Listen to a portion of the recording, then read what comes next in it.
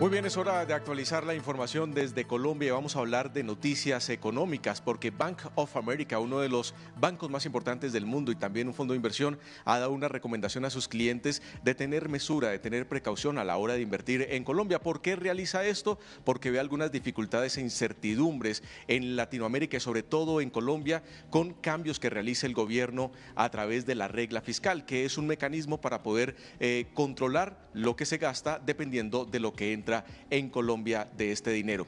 Esta decisión puede llegar a afectar, por supuesto, las finanzas de Colombia, pero para hablar de este tema nos acompaña a esta hora de la tarde Orlando Santiago, quien es un experto analista económico en Colombia. Orlando, bienvenido a las pantallas de D-News en Latinoamérica a través de DirecTV. Coméntenos qué podemos esperar en Colombia después de esta decisión de Bank of America de decirle a sus clientes tenga precaución a la hora de invertir en Colombia?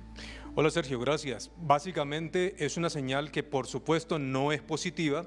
Desde el, desde el contexto internacional están hablando muchas entidades sobre los riesgos fiscales que ven en Colombia. En Colombia ya ha sido noticia la caída de los ingresos que la agencia de impuestos, que en Colombia se llama la DIAN, ha advertido y de esta forma se está presentando una combinación de un menor crecimiento económico que incluso podría ser negativo en el peor de los casos, con una caída de los ingresos. Esto podría deteriorar las cifras estatales y de esta forma muchas entidades ven riesgos en Colombia y por eso se ven este tipo de recomendaciones que por supuesto son una muy mala señal para el mercado, pero también para la confianza en nuestro país. Orlando, en definitiva, cuando estamos hablando de deuda pública, estamos hablando que los créditos de Colombia van a ser más costosos. Pagar esa deuda va a ser mucho más difícil si no entran estos recursos a nuestro país.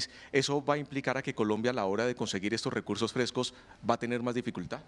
Sí, por supuesto, eh, Sergio. Hay una combinación de aspectos. Cuando hay una noticia de este estilo, hay algo que se llama riesgo país, que también viene incrementándose. Eso hace que la tasa de interés a la que le prestan tanto a empresas como al sector público de países como Colombia se eleven y pues esto es un deterioro por todos los frentes. No solamente es porque no llegue más inversión, sino que a la hora de salir a buscar recursos el gobierno nacional, vía deuda, tanto local como internacional, nos va a costar más y eso dificulta aún más la situación económica que ya de por sí es un tanto compleja. Por supuesto, en este momento para que los televidentes también tengan en cuenta, Colombia está teniendo un crecimiento del 0%, el 0,7% en el primer trimestre del año.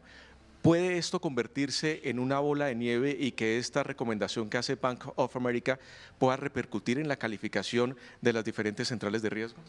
De hecho, Sergio, sí. Incluso la noche anterior, Ecopetrol, que es la principal compañía de Colombia, que incluso es la empresa que aporta cerca de un 10 a un 14% de los ingresos fiscales, recibió por parte de Moody's, una de las calificadoras de riesgo internacionales, una noticia que claramente es muy desalentadora Pasaron a Ecopetrol de una calificación de grado de inversión a inversión especulativa, lo que significa que para Ecopetrol también se va a hacer más caro conseguir recursos cuando busque endeudamiento y esto es una bola de nieve, como usted bien lo mencionó.